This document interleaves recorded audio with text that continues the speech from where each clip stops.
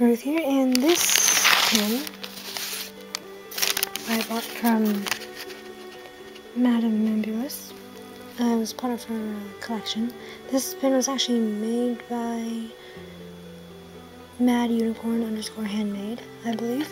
And it is. This Always Bean to add to my uh, Severus Snape collection. I actually already put one of the boards up on the wall already, and I think I've got some space.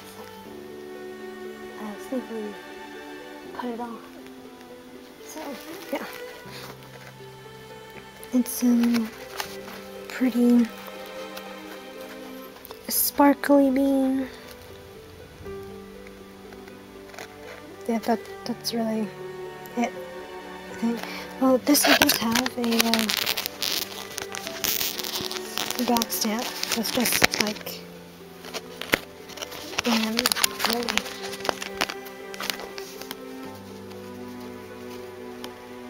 See? That's the back stamp on this one.